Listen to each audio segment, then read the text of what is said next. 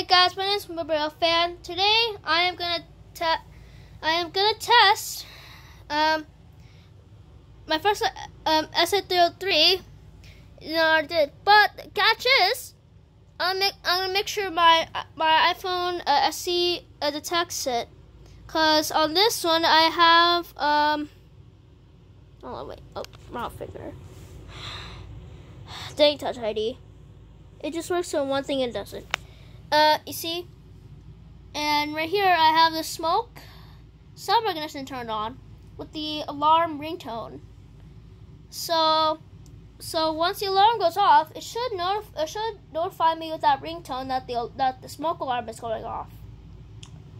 Um, it works better and when it's in. I think, I think it works better when when when it's and when it's in sleep. When it's in sleep mode. So, let's let's let's test it. Wait, hold on. Focus. Okay. Thank you. Uh, anyways, um, here we go.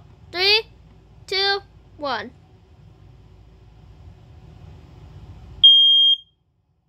Hold on.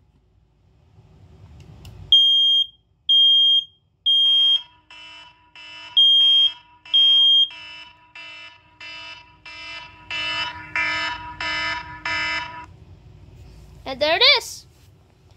Um, that is the the sound recognition. Anyways, um, this this this only work this only works for devices on the latest, uh, basically on iOS 15 or 16. Uh, since I think it works better on newer versions. I also recommend upgrading to iOS 16. It's really good. So, oh wait. Oh, it says unlock to edit. Okay, hold on a second. I let my favorite feature is that you can edit the home, the edit the whole, edit the home screen.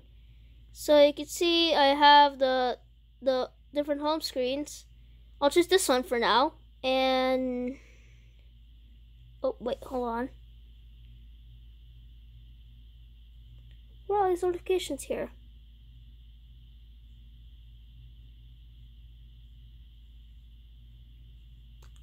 Yeah, it looks really nice. Anyways, hope you guys hope you guys enjoyed. Uh, comment, uh, comment, like, and subscribe. I'll see you guys later.